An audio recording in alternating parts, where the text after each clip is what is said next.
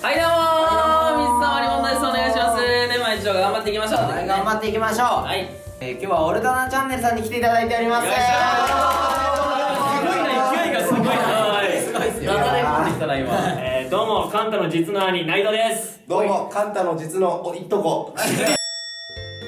昔本当に500ぐらいの、チャンネル登録者数500ぐらいの時そうね。にコラボしていただいたはい。中なんで、あもっと言ってください。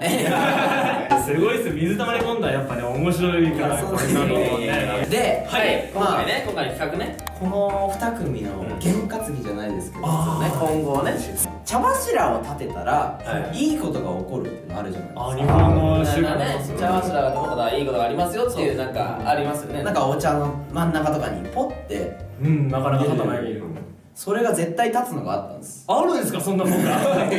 そんなもんあるんですか？いやあっていいのかっていう。もうその名もねだってね。福子かかってない。福福ってことなんだから幸福の。服なんでしょうね多分。なるほどなるほど。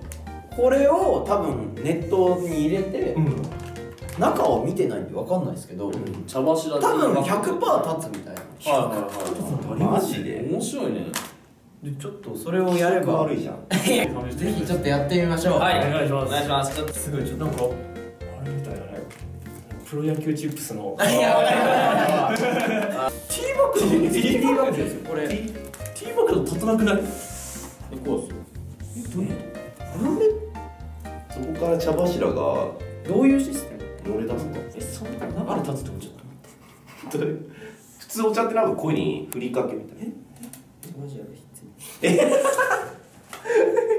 ィーバッグにもう外付け茶柱が。ちょペテンもペテンでしょ見ちゃダメだったなこれ。外にもう多分多分熱で溶けるようにして。ね はいじゃあやってみます。はいじゃあ行きます。はい。おりゃ茶柱が立つはずなんですけどね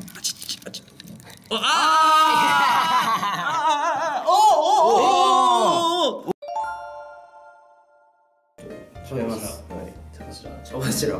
食べます。茶柱食べる動画になってんだ。よ茶柱食べるのが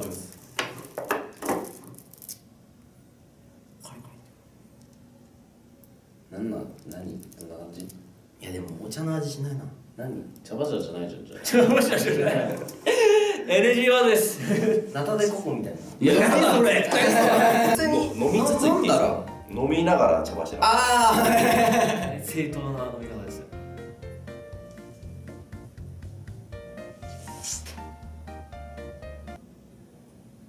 あー。ナタデココ。ナタデココもう美味しい。絶対立つのは間違いないですねこれ。まず100%まあそれは100%だね。はい。かお客さんとか来たら縁起意味でできますよね。うわすごい。いやでもどうせお高いんでしょ？いやいやいや500円なんですおよ安いこれを買い得でございます。そういう動画になっちゃう商品ましょうはい、以上今日の水溜りボンドは、えっと、茶柱が絶対に立つお茶ってい。うのをね、飲んでみました、確かに絶対立ちます。これはすごかったですね。すごかったです。で、おいたなチャンネルさんのね動画にも僕ら出てるんで。はい、ぜひお願いします。チェックしてください。はい概要欄に書いてます。よろしくお願いします。はい、よろしくお願いします。はい、以上今日の水溜りボンドでした。ありがとうございましたはいぜひチャンネル登録してください。また。明日宗教宗派は問わないが社会的に受け入れられる信仰を持つことああ、信仰を逆に持ってなきゃいけないんだよね。そうそうそうそう。持たない場合は自己としての神もしくは思考なる存在を信じていることが必要。何かを。信じるの？